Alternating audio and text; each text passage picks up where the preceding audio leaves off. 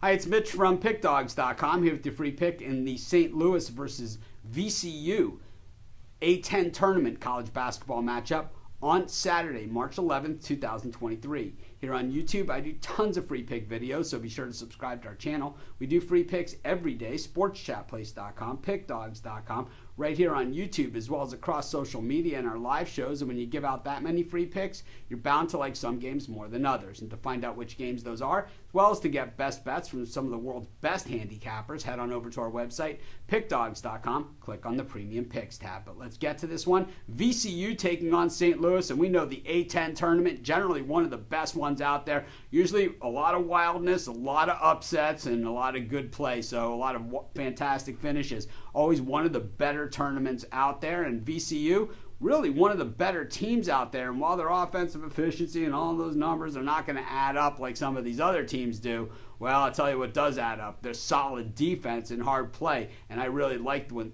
you know teams that, that play big time defense, and VCU does that.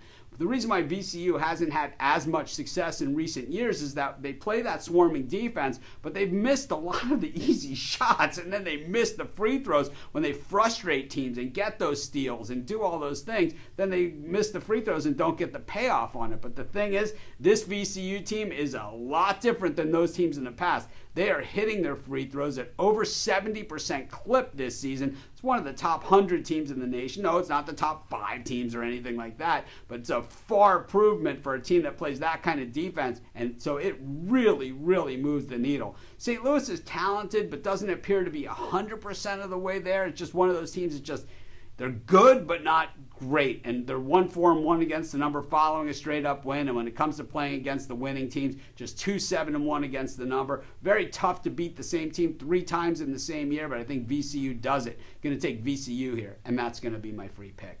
Of course, while you're doing your picks today, putting your bets in, be sure to use our free betting tools at sportschatplace.com. Our betting tools are 100% free, and the way they work, they show you just how often the bets on the board today actually hit. Then they show you today's odds, and from there, you can assess the risk reward, putting yourself on the bets that come in the most and pay the most. That's how you make money betting on sports.